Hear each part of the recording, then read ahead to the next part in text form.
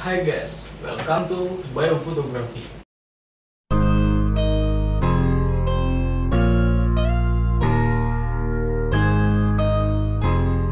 Oke guys, di video kali ini kita nggak membahas tentang model dan nggak membahas tentang foto atau memotret model.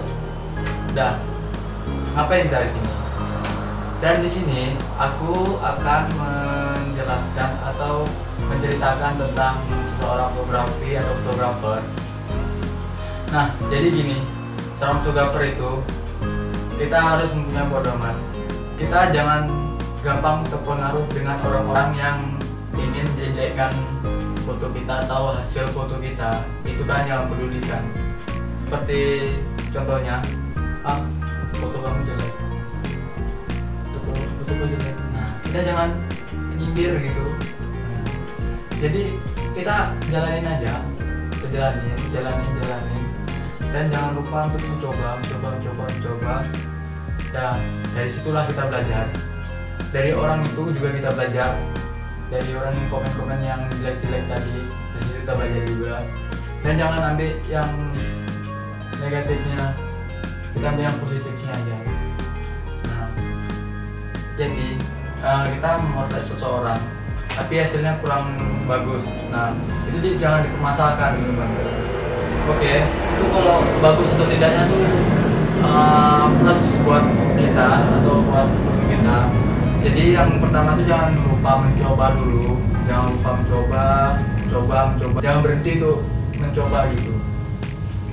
Jadi saran dari aku aja saran dari aku tuh jangan asa saat orang itu menjelek-jelekan dari foto kita ada yang bilang ah foto kamu jelek. Bilang jangan putus asa. Kan sama. Istilah kan kayak kita tuh belajar belajar belajar belajar walaupun kita udah senang udah pandai kita tahu gimana. Tapi jangan open orang yang berkata apa tuh dia biarin aja.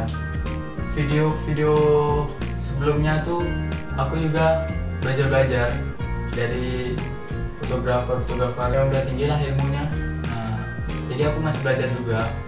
Dan di video saya jika ada kesalahan atau di pengaturan kamera mungkin ada kesalahan ya aku mohon maaf. Karena di sini aku juga masih belajar. Jadi kita ada tahapannya. Dari kecil kecil begitu besar. Nah jadi gitulah ada tahapannya. Dari kayak ah, tumbuhan juga gitu kan. Tumbuhan dari kecil ke besar. Nah dari ilmu tadi ilmu fotografer itu lah gitu juga. Dan seseorang fotografer itu harus mempunyai alat-alat. Nah mungkin perlu aku jelasin atau gimana? Nah oke di sini aku akan jelasin. Nah dan sekarang tuh kita akan membutuhkan alat yaitu kamera yang pertama. Kamera. Nah yang kedua tuh tripod. Nah itu kamera maksudnya ini kamera udah sama lensanya ya? Nah jangan kameranya aja. Nah, nanti nggak bisa motret. Jadi seorang fotografer tuh punya kamera lensa dan punyai tripod lah setidaknya. Kalau kamera tuh sejenisnya apa aja? Kalau buat pemula bisa yang yang 4 digit atau 1000 D atau 1100, 1200, 1300 dan lain sebagainya. Jika yang mau belajar juga yang langsung yang bagus juga nggak apa-apa lebih bagus. Jadi kita lebih mengenal. Tapi yang lebih bagusnya sih beli yang yang rendah dulu tipe rendah. Jadi kita mengetahui dari yang rendah ke tinggi tinggi jadi ya gitulah.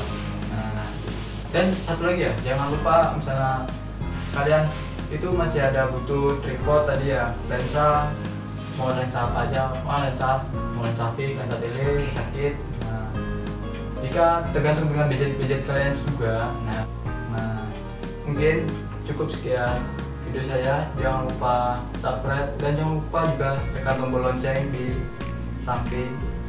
Dan kalian jangan lupa like komen dan jangan lupa juga share kepada teman-teman kalian. Dan mungkin video ini bermanfaat untuk kalian semua. Mungkin yang udah nonton ini juga aku sangat terima kasih buat kalian semua. Oke? Thank